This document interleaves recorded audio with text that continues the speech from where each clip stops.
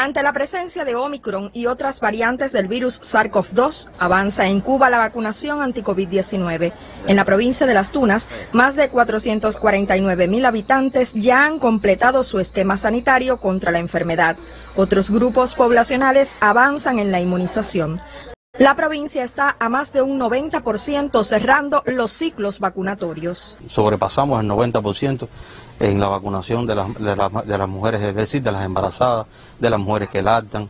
Eh, ya tenemos con más de un 90% toda la población mayor de 19 años eh, con esquemas completos de, vacunación, es decir, con, con sus tres dosis. El programa beneficia también a convalecientes de la COVID-19. Ya con la entrada de la, de la Soberana Plus para nuestros pacientes convalecientes hasta el 31 de octubre, esto también le va a dar una mejor cobertura eh, a nuestro pueblo de, inmunidad.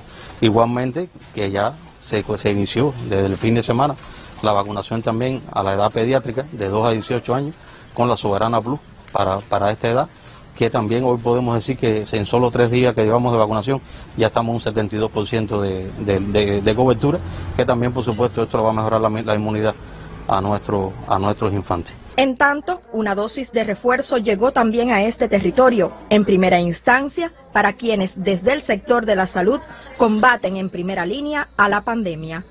Desde Las Tunas, Natacha Díaz Bardón, Sistema Informativo de la Televisión Cubana.